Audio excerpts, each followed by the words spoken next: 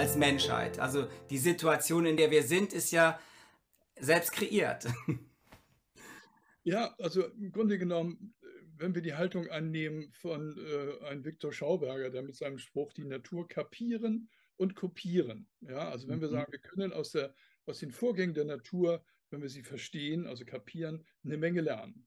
Mhm. Natur an sich anschauen, wie sie ist, ohne dass da schon, ich sage mal, degenerative Strukturen Hand angelegt hätten.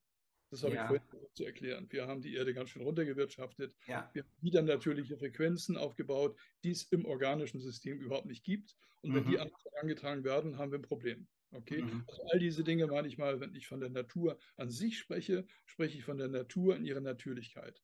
Mhm. Und wenn ich das so tue und mir anschaue, wie die Natur das regelt, man spricht von einer Homöostase. Ja, die Natur regelt. Ja, also da, wissen wir das schon nicht nur von Heraklit, dass alles Bewegung ist, alles sich bewegt, alles schwingt, alles fließt. Ja.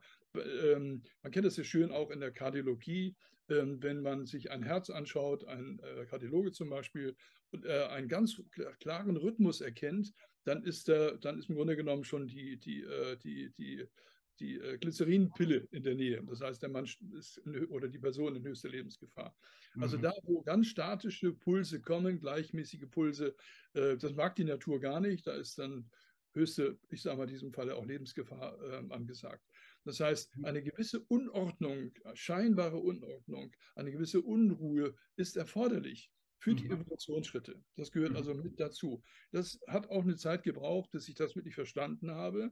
Mhm. Ich wusste, ich habe mit vielen Kardiologen zu tun gehabt. Ich habe zwei, drei Freunde, die sind Chefärzte als Kardiologen, die haben es auch aus ihrer Forschung erklärt, aus ihren persönlichen Erfahrungen mit Tausenden von Patienten haben sie es mir erklärt. Und ich kann das biologisch sehr gut auch darstellen. Also ein ganz wichtiger Punkt, der aber jetzt noch nicht sagt, warum äh, jetzt gerade so viel Chaos da ist. Also da hat mir sehr geholfen, eine Arbeit von äh, einem meiner Mentoren, geistigen Mentoren, Ilya Prigogine, ein Exilrusse, der, ich glaube, vor 40 Jahren einen Nobelpreis bekommen hat für diese Entdeckung, dass Chaos wichtig ist für neue Evolutionsschritte. Mhm. Ja, die mhm. sogenannten dissipativen Strukturen. Er hat festgestellt, dass nicht nur biologische Systeme, sondern auch chemische Systeme ähm, immer nur dann sich weiterentwickeln, also in komplexere Systeme übergehen, immer an einen Punkt, dass sie von Chaos leben.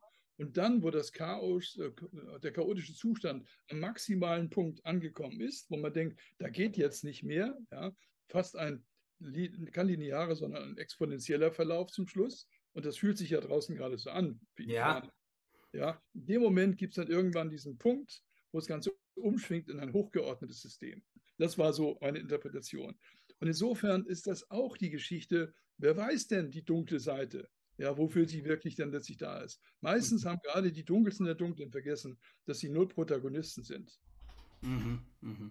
ja. ja. und dass sie auch nur eine Rolle spielen. Ne? Genau. Und wir können dann vielleicht sogar dankbar sein, dass sie da sind und wir uns da durch sie wieder befreien können. Durch also unsere eigenen Schatten und äh, Ängste und so weiter dann sozusagen los, das habe ich loszulassen. Matthias, das ist interessant. Ich werde jetzt, ähm, jetzt kommt mir eine Sache in Erinnerung, das ist ähm, auch schon wieder ein paar Jahre her, da bin ich auf einem Kongress in Zürich gewesen. Mhm. Und ich wusste, da gab es jemanden, der mir wirklich an die Wäsche wollte. Es gab mhm. Drohungen massivster Art, ich habe sogar Polizeischutz gekriegt, bin vom Flughafen abgeholt worden mit Polizeischutz. Und dann kam mir auf diesem Kongress, kam mir diese Wesenheit entgegen. Ich hatte ein Bild von ihm wusste seinen Namen. Ich habe im Internet gegoogelt, jemand, der mich offenbar aus dem Wege räumen wollte. Ja. Mhm. Dann kommt er auf mich zu, wutschnaubend. Ja. Die Leute konnten ihn kaum festhalten. Und ich ging auch auf ihn zu, aber voller Freude. ich ja. umarmte ihn einfach. Ich habe ihn einfach umarmt und ja. weiß nicht, was ich gesagt habe, aber ich habe ihn einfach umarmt und das war nicht gespielt. Das war nicht gespielt und war völlig entwaffnet. Da kriegte gar kein Wort mehr raus. Mhm.